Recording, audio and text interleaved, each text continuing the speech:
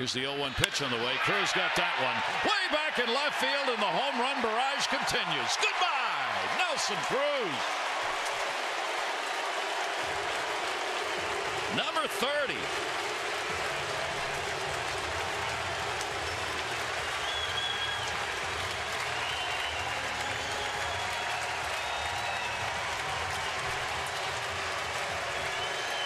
Fans loving the long ball here at Camden Yards. Their bats are really starting to heat up. 30th home run of the season.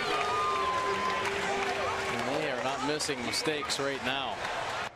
3-1 here to Cruz. There's a drive. Left field.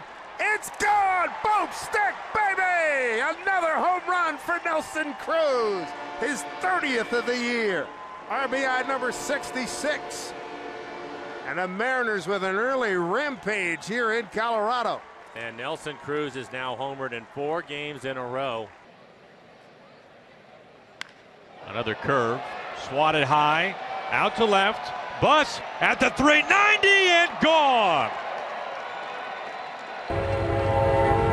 Curveball destroyed, and with that, the Mariners lengthen the lead a little bit. It's now 3 1 Mariners on home run number 30 this season from Nelson Cruz. That might be the highest home run we've seen hit this year. It is on a big looping curveball, and he hit it straight up in the air. Money's worth.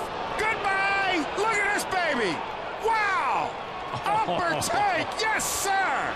Boom. Stick, baby.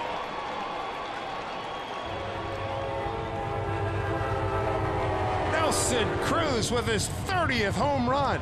His second RBI tonight. 98 on the season. Hey now. That ball was crushed. Here's the windup and the 2 1 pitch. Swing and a well hit ball deep to left field. Going and going. Goodbye, baseball. Down the left field line, Nelson Cruz has just belted his 30th home run of the season. 72nd run batted in, and it was a missile right down the left field line. And the Mariners have taken a quick 1 0 lead here in the top half of the second. Nelly Cruz with a shot off of Bartolo Colon. 1 0 Mariners.